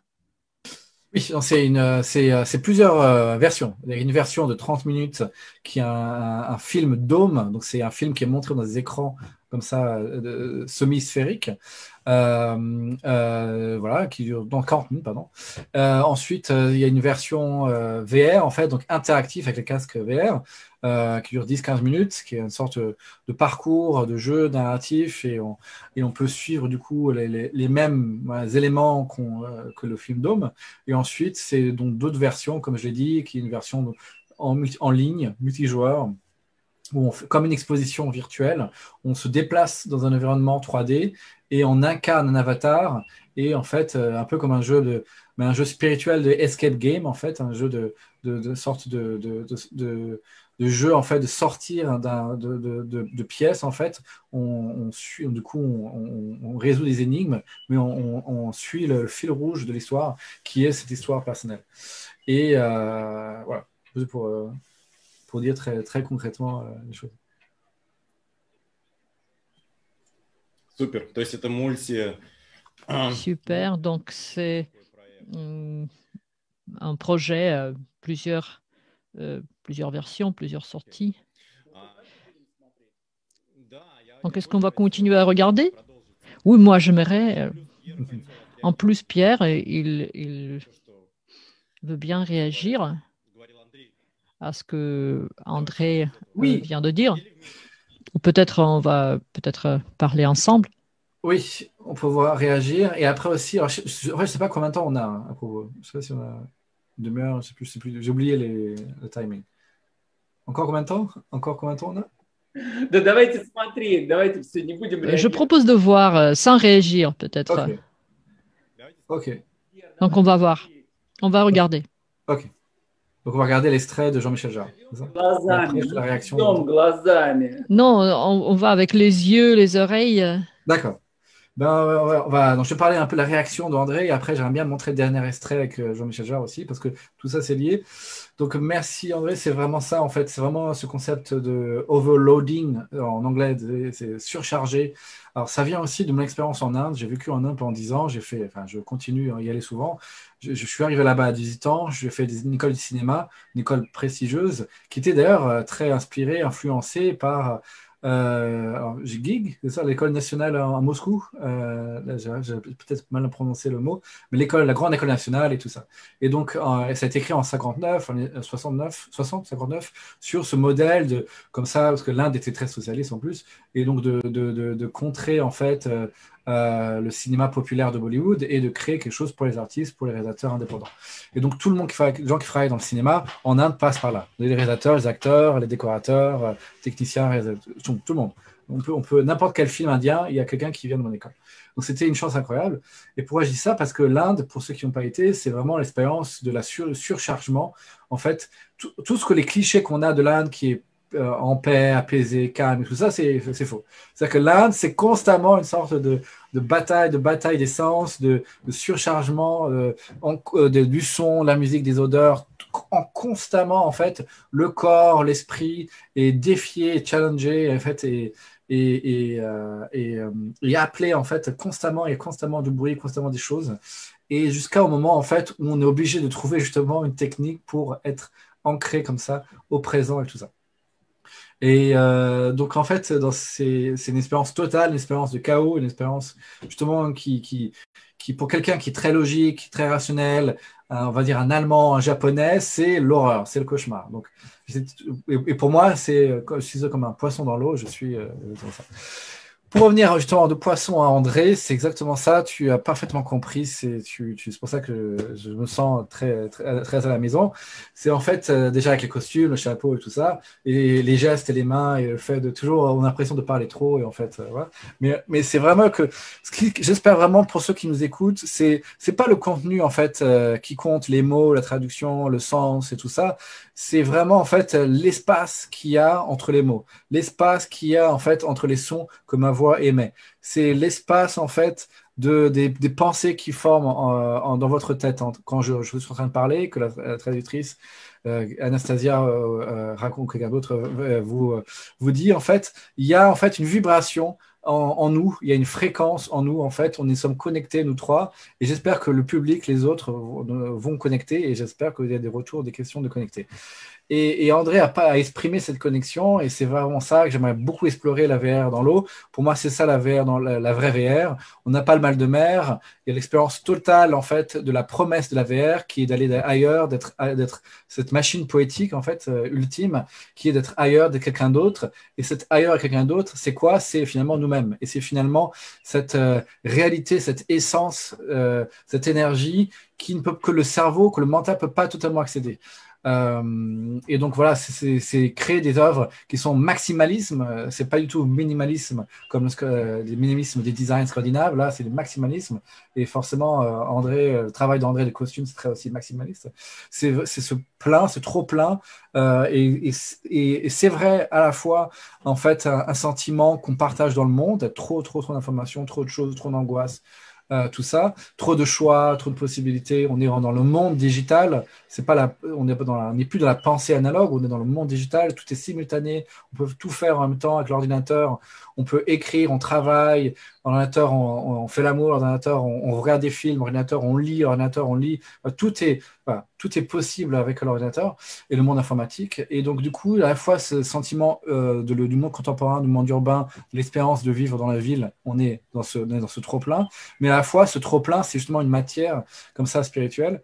Et, c'est vrai que le surréalisme, en fait, il serait très intéressé, euh, alors justement par, ce, par cette VR. Et, euh, et donc, du coup, quand j'ai travaillé avec Alejandro Jodorowsky, alors pas Kodorski, c'est Jodorowsky, euh, c'est en fait, qui est en plus d'origine ukrainienne, hein, si vous dire. Et en fait, il est avec lui qui, qui, se, qui, qui, a rencontré André Breton en plus, qui en plus, si vous lisez son autobiographie, il a, il a pris les pages blanches quand il est arrivé en, en France en, en, 52, en 1952-54, Jodorowsky, il a pris les, livres de, de Miro, il a appelé André Breton, c'était à 22h ou 23h du soir, et il, il m'a dit, je suis, euh, je, viens du Chili, je suis Alejandro Jodorowsky, j'aimerais vous rencontrer, je suis votre fils spirituel, je suis euh, euh, le nouveau Messie de la, de la surréalisme. Je ne sais plus s'il a dit une Messie ou pas. Et donc, euh, André Breton a raccroché au, directement. Et, quand j'ai travaillé avec Jodorowsky, en fait, c'est intéressant parce que je pense qu'en fait, lui, c'est un homme du 19e siècle. C'est aussi un homme d'écriture et tout ça. Donc, l'AVR, les nouvelles technologies, les jeux vidéo, c'était difficile pour lui. Aussi parce qu'il est aussi très âgé. Euh, et je pense qu'à chaque génération, et je suis très entièrement d'accord avec André, on a une responsabilité euh, en tant qu'artiste. Et en fait, et quand on est artiste, on est quoi? On est un archétype. Et donc, euh, je rejoins tout ça avec euh, Jodorowsky, qui travaille avec les tarots, euh, qui travaille en fait avec des personnages. Et nous, quand on est artiste, on porte des choses bizarres, des costumes sur la tête, des, trucs. on est des nomades, on est des gens qui sont pas forcément, qui sont justement en train, toujours en train de mouvement, et des fois on a besoin justement de ancrage et de, de, de, grounding. C'est pour ça que je suis pas surpris qu'André a un jardin parce que justement il a besoin de, cette, cet équilibre. Et mais chacun en fait, on incarne un archétype. Ça peut être un archétype d'un leader, ça peut être un archétype de quelqu'un qui va, va donner en fait une, une, infirmière, un infirmier, une professeure, un archétype de guerrier, un archétype de guerrier qui peut être un businessman, pas forcément un guerrier comme un soldat. Donc chacun en fait doit découvrir en lui une sorte de mission, de fonction. Et on va voir après, mais quand j'ai travaillé avec Jean-Michel Jarre, en fait, lui aussi, il était, il s'est découvert, en fait, il avait une relation très spirituelle avec aux choses et la musique. Et c'est quelque chose qu'il a confié avec moi, parce qu'il il adore, en fait, euh, appeler à 3 heures du matin, à 4 heures du matin, il dort pas beaucoup. Et euh, donc, Jean-Michel Jarre, on l'introduira après, mais je pense que vous connaissez tous. Et en fait, grand musicien, grand pionnier de la musique. Et en fait, euh, il, à 4 heures du matin, 3 heures du matin, il m'appelle, et donc on s'appelle, donc des fois, il, dévoile un peu des choses de lui-même. Et, je, enfin, je sais que je ne trahis pas sa confiance, mais en disant que que, pour lui, en fait, euh, c'est un musicien, c'est cet archétype, c'est être artiste, c'est un archétype, c'est une sorte de responsabilité. Et chaque génération, euh, on a besoin de ça, en fait. C'est toujours cette même lutte entre deux forces, en fait, entre différentes, ou même plusieurs forces d'ailleurs. Et on a forcément une lutte du mental, une lutte qui va, qui tire vers le bas, une lutte de ce cerveau qui veut toujours créer des schémas, des logiques et tout ça, et une sorte d'énergie infinie, en fait, euh, qu'on peut accéder peut-être en se débarrassant un peu du mental. Euh, mais ça, c'est encore une autre histoire. Donc, je suis entièrement d'accord avec ce qu'André, en fait, euh, dit. J'adore ce qu'il fait, son travail. Euh, c'est vraiment important, en fait, de temps en temps. Ben, et chacun, en fait, est créateur. Chacun est, en fait, ce que chacun peut aussi, en fait, être le héros et, et, chacun possède à la fois le paradis et l'enfer en soi. Et il y a toujours en fait un parcours, une quête très importante à faire. Et c'est pour ça que dans mon travail, en fait, je, mets en image, je mets en scène, je mets en texte, je mets comme ça en musique ce, travail, cette quête, en fait, cette quête, ce personnage qui cherche. Et donc, euh, moi, euh, et, donc, euh, c'est important en fait de, cet archétype, ce personnage qui cherche, qui voyage, qui, qui, essaie de trouver quelque chose. Et, c'est là en fait où, il y a cette découverte intime, cette révélation intime qui est finalement celui qui cherche, c'est et déjà ce que je cherche, voilà, ce que je cherche, et, et en fait celui qui cherche. J'ai trouvé le, bon mot en anglais. What you are looking for is already where you are looking from. Donc, euh, le, le, le finalement, c'est pas l'objet qu'il faut chercher, mais finalement le sujet derrière, en fait, euh, les mots derrière la pensée, derrière le mental, parce qu'il y a une énergie derrière le mental, en fait. Et c'est ça que je, crée. Je crée des expériences qui, euh, comme l'a dit André, très bien, surchargent, créent des mash-ups, créent des choses hétérogènes, créent des collages, en fait. Et c'est pour ça que je peux m'inscrire dans le surréalisme. Mais c'est un surréalisme qui n'est pas forcément lié à des objets, en fait. C'est un surréalisme qui est lié avec le corps, sensation du corps, parce que finalement, qu'est-ce qui est vraiment réel, concret? Qu'est-ce qui peut nous permettre d'être dans le présent, d'être là maintenant, par exemple? Là maintenant, c'est vraiment euh, sentir l'apesanteur, c'est sentir je pense que vous êtes en train de m'écouter, vous êtes assis sur votre chaise et il faut ressentir le, corps, le, dos qui touche le dos du dossier, les pieds qui touchent par terre. Et c'est ça qui, le corps qui aide en fait, et qui aide à, pour moi en fait, c'est le véhicule justement qui m'aide à, trouver cet équilibre, qui, qui aide à, trouver une solution euh, euh, au monde. Et en fait, quand je crée une œuvre, c'est aussi créer des sortes de machines qui reproduisent ça qui du coup euh, euh, euh, essaie de, prendre, de, de, donner des sensations très fortes en fait. Donc dans Patterns, ce qu'on a vu avant, le film Dome, c'est un film Dome énorme, il y a du son très fort avec la basse très forte. j'ai fait de la basse, j'ai appris la basse et j'ai fait du jazz. C'est important de, de, mettre des sons très sons très basses c'est important aussi dans, donc dans le film Patterns, il y a aussi des flashs, il y a aussi des choses qui appellent comme ça au corps. C'est pas seulement des informations visuelles, c'est une, une, expérience viscérale. Et donc la continuation, la logique, pour moi, c'était faire la VR dans l'eau. Et je crois beaucoup à la VR. J'ai, enfin je, c'est pour répondre un petit peu avant, mais j'ai fait la VR pour la première fois quand j'avais 7 ans en 93. Donc c'est encore une autre histoire, mais ça pour dire qu'il y a vraiment euh, la VR, c'est pas le cinéma, c'est encore autre chose. Et pour moi, c'est fantastique parce que justement, euh, euh, il y a un, en fait, plus que comment dire, le vrai puissance de la VR, je finirai avec ça avant de vous donner la, parole et de vous écouter, c'est en fait que, et là je, rejoins en fait le, créateur du mot réalité virtuelle. D'ailleurs, en fait, il y a, un problème. Enfin, y a le premier personne qui a créé le, qui a trouvé le mot réalité virtuelle, c'est euh, c'est Antonin Artin. Voilà, Antonin Artaud, pardon. Euh, c'est ça, le grand euh, euh, écrivain, scénariste, enfin pas scénariste, mais metteur en scène de théâtre, Artaud, Antonin Artaud. Et ensuite, il y a Jaron Lanier, qui est un, un, Américain au MIT dans les 80, qui a développé les premiers casques VR, donc pour la NASA, Jaron Lanier, en fait, qui parle en fait de, d'être une expérience en fait post-symbolique. C'est-à-dire que euh, beaucoup les, les, surréalistes en fait ont traité de la métaphore, ont traité le plaisir d'être la métaphore en fait, que l'objet soit même la métaphore dans son matériau, dans, le mot. Mais en fait, la VR, c'est carrément être dans la métaphore. Donc avant, en fait, André parlait de mettre euh, la métaphore, de mettre une couverture sur soi en fait. Euh, et, donc, du coup, avec les mots, de vous faire comprendre un terme, la VR, c'est carrément vraiment l'expérience de mettre euh, la couverture sur soi. Un autre exemple pour exprimer ça, et je finis avec ça, c'est que en fait, euh, le cinéma, c'est comme d'être au bord euh, du trottoir. En fait, on, est, on imagine d'être sur le trottoir, on imagine un magasin, une vitrine, et on voit un manteau et, dans, dans, cette vitrine. Et donc, le cinéma, en fait, c'est ça. On voit à l'extérieur le manteau et la vitrine qui bloque. Et la VR, c'est vraiment porter ce manteau. Et donc, donc c'est porter vraiment sur soi le manteau, donc incarner un autre corps donc un autre avatar en fait, dans ce monde 3D. Et, on peut manipuler des choses, il y a des mains. Et donc c'est important, je finirai avec ça, c'est que vraiment que la VR, c'est d'être, c'est pas d'accéder à travers un de véhicules de la métaphore, donc les images, le collage, le montage au cinéma, le texte, le sens des mots dans la littérature ou la peinture, tout ça. C'est vraiment, on est, il y, y avait plus de, on est dans, le, dans, dans, la métaphore en fait. On est dans l'émotion en fait de, de la métaphore. Et donc c'est ça qui est extrêmement fort dans ce médium en fait, parce que le cerveau il croit qu'il est en fait dedans en fait. Il n'est pas dans une relation d'information, de recevoir des informations visuelles, auditives. Il est dedans, totalement dedans. Voilà.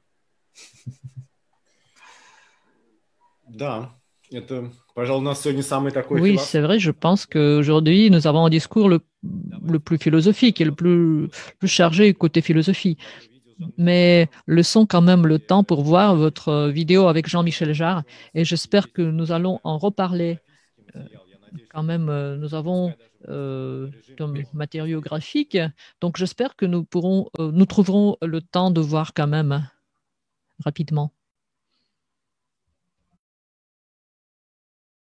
Il n'y a pas de, musique de Michel Jarre parce qu'il y a problème de, de, droit en fait, sinon ça va sauter le, ça va interrompre le, le, le live Facebook et,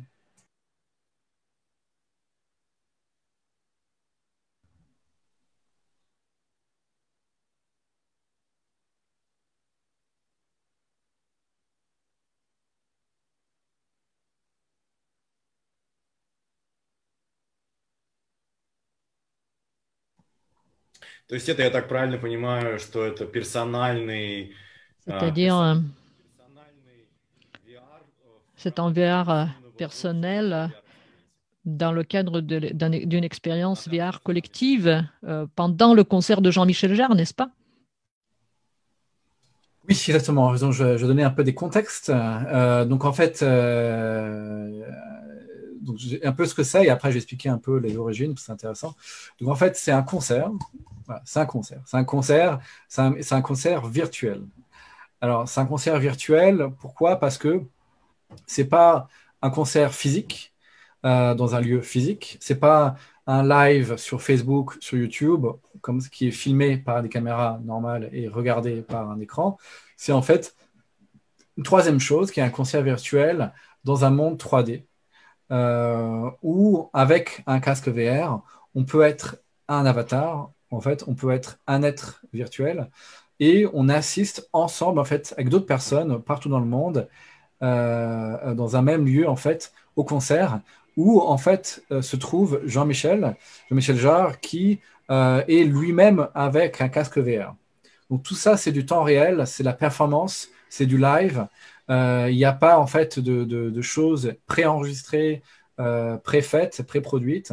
Tout ça est réel. C'est-à-dire que lui est vraiment derrière, il est sur la scène, il porte un casque VR, il est dans son studio à Paris, il est connecté à un, serveur, il est connecté en fait à un monde 3D qui, qui se trouve sur une plateforme qui s'appelle VRChat, et chacun peut être un spectateur, euh, accéder, log, euh, en gros, euh, créer un compte, aller sur VRChat, choisir son personnage, son avatar, et, et rentrer dans le monde et, du coup assiste et, euh, et, du coup peut danser et suivre la musique.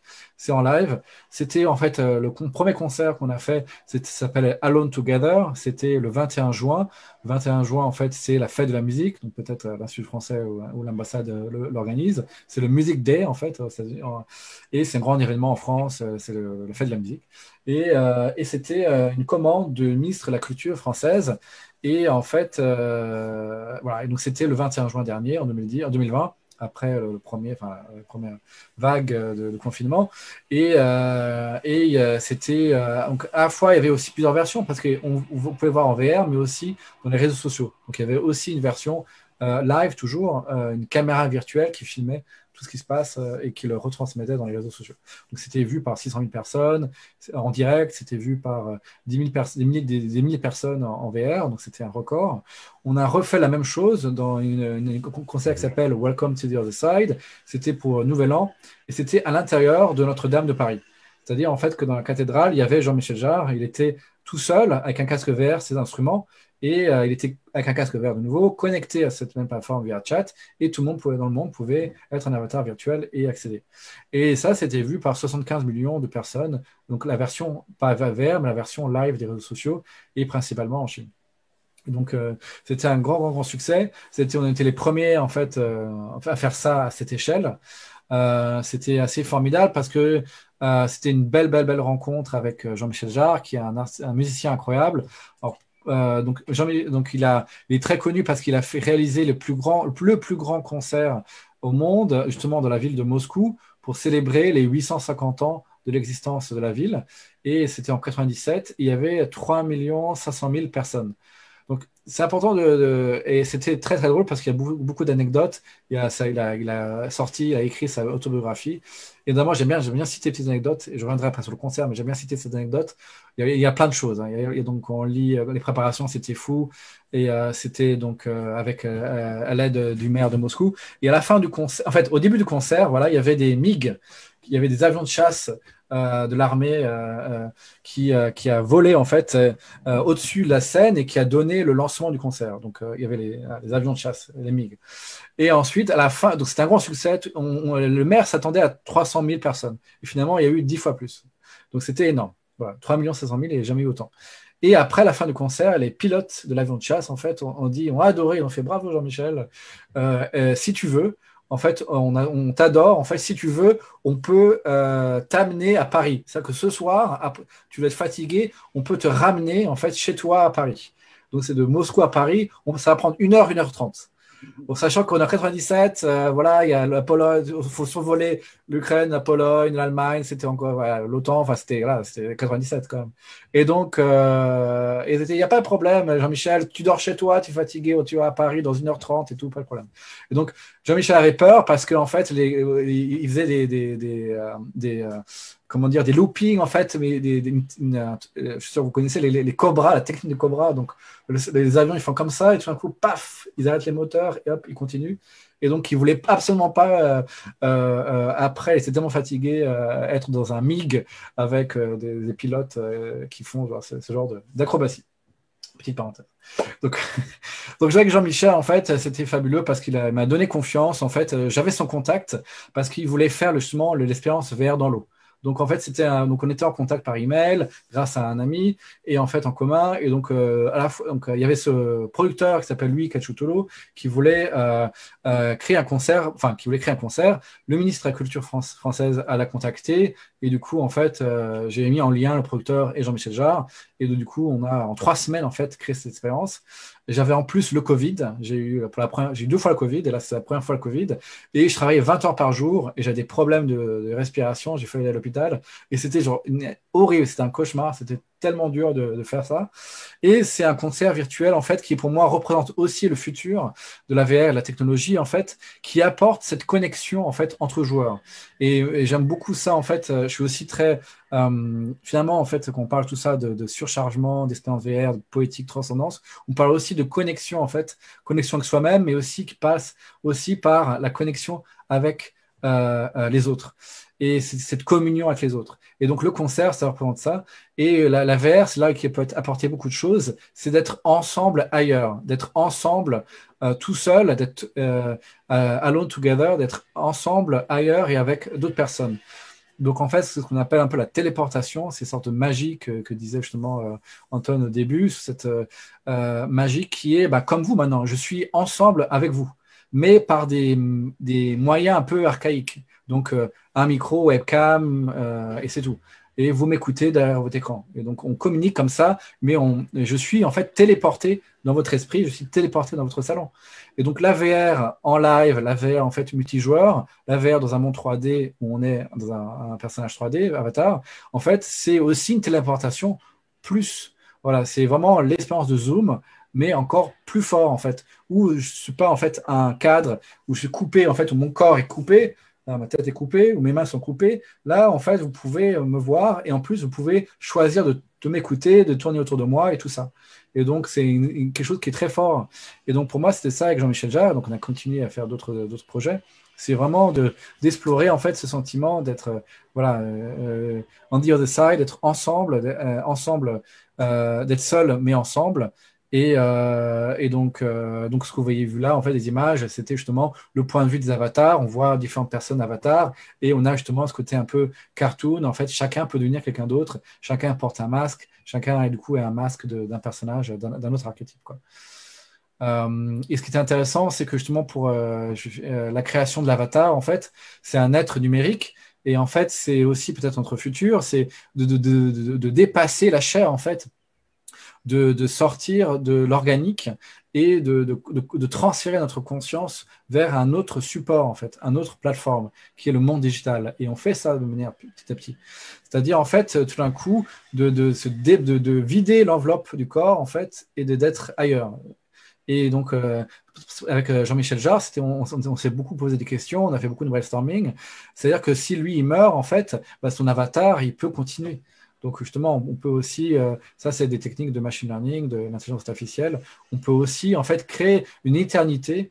Euh, l'artiste en fait, c'est-à-dire en fait, c'est du coup c'est créer l'art sans artiste c'est aussi en fait de dépasser le romantisme de, l'artiste qui vient un peu de Van Gogh, de Picasso, avec comme ça depuis 100 ans, 200 ans, une figure comme Dostoevsky, une figure comme des poètes comme Baudelaire, quelque chose de l'artiste maudit, tout ça, qui est en fait assez récent, qui n'est pas là en fait avant. Quand on, qui sait les constructeurs de la cathédrale de Notre-Dame, qui sait les constructeurs de d'autres d'autres œuvres d'art en fait. Et donc il est apparu avec la Renaissance euh, et après un peu l'impressionnisme, après d'autres formes justement le héros, la star, euh, l'artiste qui fait tout, l'individuel.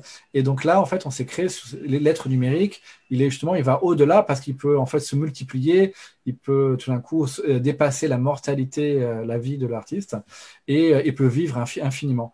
Du coup, on a créé avec, Jean-Michel Jarre, en fait, un être qui n'est pas réaliste, qui n'est pas comme euh, sa peau, comme ses cheveux et tout ça. En fait, on a créé une silhouette. On a créé euh, un personnage, un archétype, une silhouette euh, qui est qui pas qui un peu spirituel, qui est un peu qui n'est pas qui est là mais n'est pas là en fait, qui est pas un cartoon, qui est pas un manga, qui est pas un personnage de dessin animé, euh, non plus aussi, parce que ça c'est aussi une direction euh, extrême, donc soit un personnage dessin animé, soit un personnage réaliste. On essaie de trouver en fait une enveloppe euh, comme ça, une sorte de aura en fait, une sorte de d'être qui est qui qui, qui да, Pierre, большому сожалению, у нас остается буквально две минуты. Pierre, malheureusement, il ne reste que deux minutes. Est-ce qu'on peut prolonger ceci de six minutes? Oui, s'il vous plaît, s'il vous plaît. Ça dépend de nos partenaires, ça dépend de, nos, euh, de, de l'Institut français. Si l'Institut français ne le permet, on peut? Bon. on sera le premier à apprendre si euh, on nous met hors, euh, le, hors du streaming. Mais bon, de toute façon, avant de terminer, je voudrais quand même. Ah oui, c'est un sujet cool, vraiment. C'est une question très philosophique qui me préoccupe aussi, philosophique et biologique. Est-ce que la création est possible sans créateur? Oui, bien sûr, elle est possible, mais c'est encore un biais que l'on a. C'est encore une erreur de perception. On attribue le créer au créateur. Donc, si c'est créé, ça veut dire que ça a une certaine intention et une certaine technologie. Bon, dans la majorité des cas, c'est comme ça, mais il y a beaucoup d'exemples contraires. Et mon exemple préféré est du côté d'André. C'est la cathédrale de Gaudi qui est construite par l'architecte génial et qui a été euh, qui, n'est pas encore finalisée, qui est toujours en voie euh, qui est toujours en voie de construction par ses euh, descendants.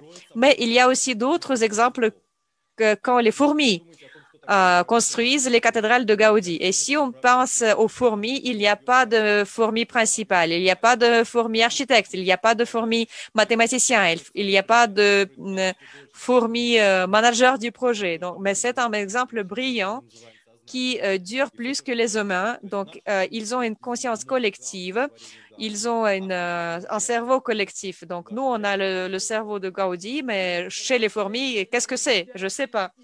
Moi, je voudrais continuer ce sujet excellent.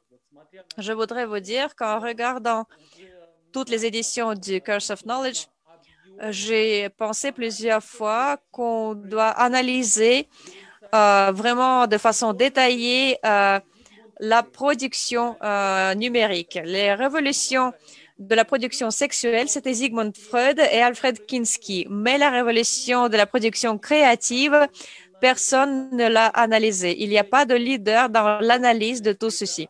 Et je crois que le milieu créatif, tous les artistes, tous les créateurs qui peuplent notre planète, euh, donc en fait, ce qu'ils font, c'est euh, la fourmilière. Ce qu'ils construisent, c'est la fourmilière. Euh, ils, peuvent la construire sous forme de, la cathédrale de Gaudi. Et en continuant sur Gaudi, bon, la cathédrale de Gaudi n'est pas encore finalisée. Je crois qu'aux dernières étapes, ce sont les robots qui vont le construire en 3D. Donc, ce ne sera plus le travail manuel, ce sera euh, la construction robotisée. Et c'est cette révolution euh, qui a été commencée par Freud et Kinski qui doit être maintenant transplantée dans le domaine de la création. Euh, entre autres, parce que je vois que dans le milieu de création, il y a les mêmes trésors, les trésors innombrables, qui sont peut-être même plus riches que les trésors de la Terre. Et peut-être dans certaines galaxies, c'est déjà équilibré, mais peut-être l'humanité n'est pas encore prêt, prête à analyser le milieu créatif de façon détaillée, puisque l'humanité qui n'y est pas prête, elle peut utiliser ces connaissances inaugurantes euh, d'une mauvaise manière. Et c'est peut-être pour ça que,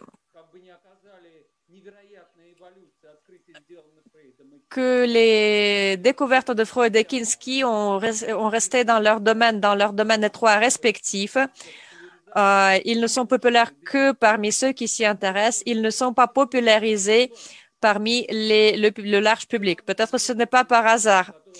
Euh, mais quand même, l'absence de l'institution qui pourrait analyser le milieu créatif et la production créative est fâcheuse. On a besoin de cette institution parce que si on analyse nos douleurs, nos peurs, si on complète les différents diaporamas, si on euh, se souvient de, nos impulsions les plus fortes, de nos pertes les plus fortes, si les artistes commencent à hum, confronter euh, leurs différents euh, journaux, leurs différents articles, peut-être on finira par comprendre qu'on a dans le même rythme d'impulsion. Et peut-être si on a les mêmes idées se trouvant aux, différents bouts de la planète, ce n'est pas par, hasard. C'est peut-être une mission galactique qui nous attend. Et, il faut vraiment étudier tout ceci. Mais voilà, c'est mon point. On continue? Sans perdre le temps, on va continuer. Oui, l'analyse volumineuse de la production créative, c'est ce qu'il nous faut. Bon, Pierre, merci beaucoup pour notre discussion de ce soir. On a l'impression qu'on a juste frôlé la superficie de votre création. André, merci beaucoup, beaucoup.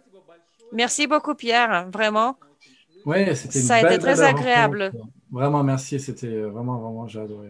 C'était super. Vraiment, merci encore l'Institut français. C'était génial. Merci. Et bonsoir à tous. Et revenez à la, à, à la pesanteur. Sentez votre corps dans votre chaise. Revenez sur terre.